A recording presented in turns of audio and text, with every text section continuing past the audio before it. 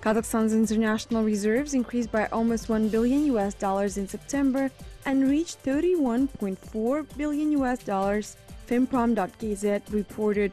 One of the growth factors is an increase in the volume of assets in foreign currency on government accounts at the National Bank and the commercial second-tier banks.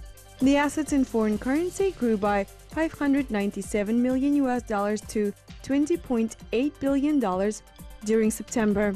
Assets in gold returned to growth in September and increased by 282 million US dollars in the past month, amounting to 10.6 billion US dollars.